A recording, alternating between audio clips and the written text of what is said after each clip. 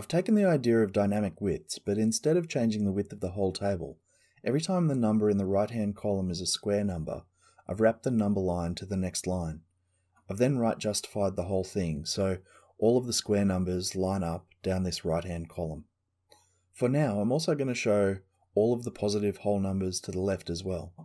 So effectively each row has all of the numbers smaller than the square number that's in the right-hand column. You can see that all of the positive numbers are listed, but it also means that there's a lot of duplication. But bear with me. Next I'm going to highlight all of the prime numbers. There's no clear pattern to the primes. There are some interesting diagonal lines which I'll get back to, but nothing that's uninterrupted. We'd confidently predict where the primes were. There are, however, some really clear patterns to the composites. You'll see that when you square an even number, you get an even number, and when you square an odd number, you get an odd number. So every second row in the right-hand column is an even number. So as a result, you get a grid pattern where all of the even and odd numbers alternate on each line. You may also see some columns that are always composite below the top number in that column. Always. If you count from right to left, these are the columns that correspond to square numbers. So this column is the original square numbers. This column is the original square numbers minus 1 squared, minus 2 squared, 3 squared, and so on forever. I'm now going to hide all of the non-square columns. In doing this, we get rid of a lot of the duplication, but we also lose all of the numbers that leave a remainder of 2 when you divide them by 4, so 2, 6, 10, etc. But besides the number 2, none of these 2 mod 4 numbers are prime. You can see pretty clearly that all the odd numbers are listed at least once along this top diagonal line, and in some cases they're listed elsewhere as well. The ones listed in more than one place are the composite odd numbers. They're the prime killers. There's also a bunch of even numbers. In the same way that the top diagonal line is all of the odd numbers, the second line is all of the numbers evenly divisible by 4. These remaining columns are effectively a visualization of the difference of two square numbers, 9 minus 1, 25 minus 4, etc. The only numbers in these columns that might or might not be composite are the tops of each columns. These are the numbers where the two square numbers are consecutive squares. So 3 squared minus 2 squared, or 6 squared minus 5 squared, and so on. We can see algebraically that the only way that an odd number can be prime is where the two numbers are consecutive because if we call the two square numbers x squared and y squared, we can write this as x minus y multiplied by x plus y. And the only way that that's not composite is where x minus y equals 1. So the top diagonal line is all of the odd numbers, which means that if an odd number appears in a second place anywhere lower than that line, that number is a composite. A number like 9 is on the top diagonal line, and it's 5 squared minus 4 squared, but it's also 3 squared minus 0 squared. A number like 15 is 8 squared minus 7 squared, but it's also 4 squared minus 1 squared. We can see that all prime numbers greater than 2 can be expressed as the difference of two squares in only one way. Besides the prime numbers only appearing on the top diagonal row and the right-hand column being consecutive square numbers, there's also a number of interesting patterns here. Like the table from before I hid the non-square columns, the even numbers form a grid, so half the numbers can be ignored. These correspond to either where the two square numbers are both even, or where the two square numbers are both odd. Now I said before that the numbers appearing in the second diagonal line are all even. What's a little harder to see is that the diagonal line third from the top are all divisible by 3. This is where x minus y equals 3. The diagonal line below that, the fourth line, are all divisible by 4, and so on forever. We can prove this algebraically too.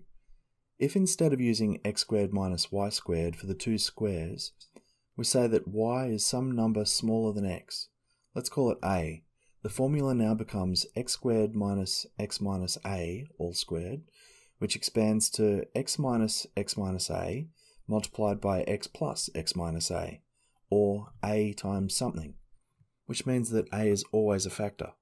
As before, if x minus y is 1, then 1 is a factor.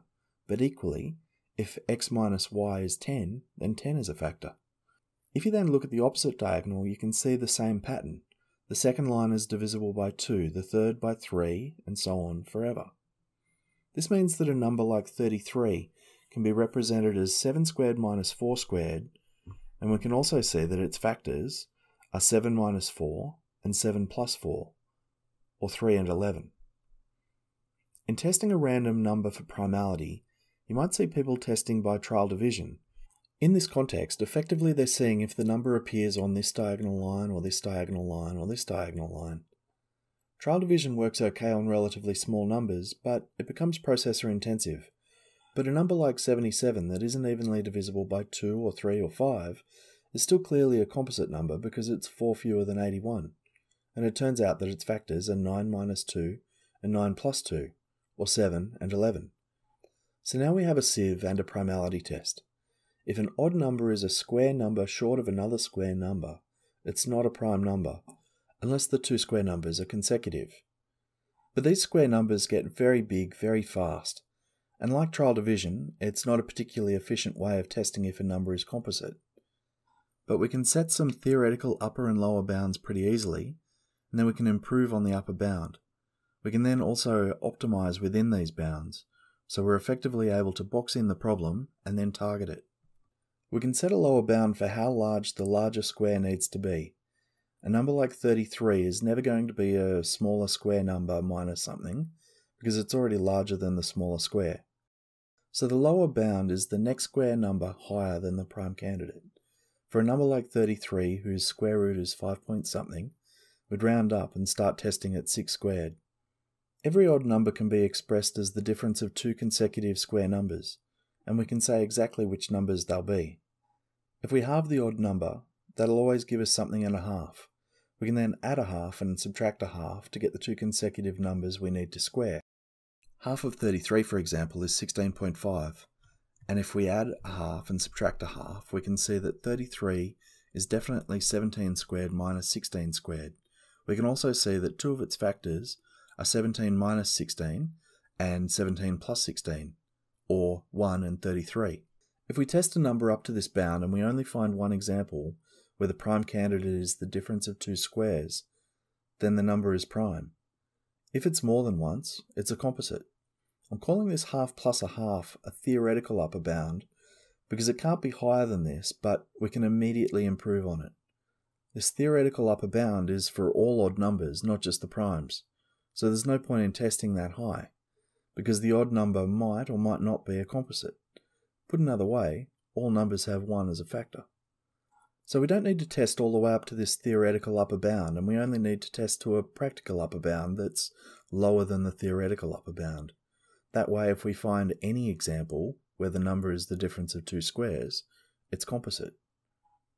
While we're setting a practical upper bound, if we're only testing odd numbers, then we know that 2 isn't a factor, so we don't have to test to where the two numbers to square are 2 apart, and we can set a lower practical upper bound. You may see where this is going already, but we can use this method of testing for primality in concert with trial division. If through trial division or some other method we can quickly determine if a number is not divisible by 2 or 3 or 5, then the minimum possible divisor is 7, and we can write a similar formula to determine the practical upper bound. In general, the upper bound is the prime candidate divided by twice the minimum possible divisor plus half the minimum possible divisor, rounded down, and then all squared. In the case where the numbers are 1 apart, as per our previous example of 33, the revised formula gives us the same thing, which is the same as saying half plus 1 half. If at any point the rounding isn't necessary, then the number is divisible by that minimum divisor. Even without optimization, compared to the sieve of Eratosthenes, there's a number of positives. In particular, the column widths are static, and despite each row being different lengths, those lengths follow a very predictable pattern. The numbers we're dealing with are either multiplied, that's to say that they're squared, or they're subtracted. And potentially this is less processor intensive than division or modularity needed for trial division. Now we can use this in concert with trial division, and we can start at any number. So you can jump ahead to a million and know with certainty that a million minus 9 is a composite. And you know with certainty that its factors are 1000 minus 3 multiplied by 1000 plus 3 or 997 and 1003. If you find a number isn't prime, you also find two of its factors. And you don't require any prior knowledge or storage of prime numbers to find prime numbers, which is kind of cool. So far, this is the version of the primality test which can use trial division in concert with the method to reduce the upper bound. We've boxed in the problem, but it's yet to be targeted.